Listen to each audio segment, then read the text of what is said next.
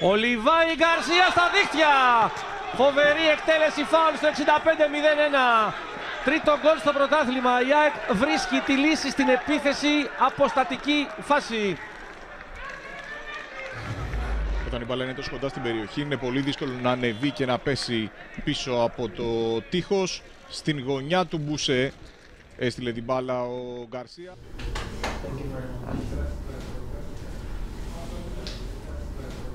I would like to thank everyone that voted for me. Really happy about this prize. Thank you. It was a great goal, and hopefully, I can continue to be successful here.